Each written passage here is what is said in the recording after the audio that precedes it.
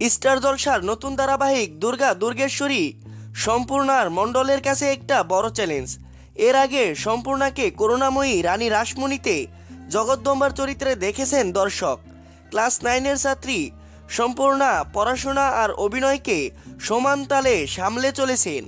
শুটিংয়ের ফাঁকে একান্ত আলাপচারিতায় ধরা পড়ল খুবই নম্র ও মিষ্টি স্বভাবের এই কিশোরী অভিনেত্রীকে। টেলিপর্দার খুদে নায়িকা। ছোট থেকেই সিরিয়াল দেখা, নিজে নিজে নাচ করা এগুলো তো ছিলই। কিন্তু অভিনয়টা নিয়ে নিশ্চিত ছিলেন না। তবে ইচ্ছে একটা ছিলই।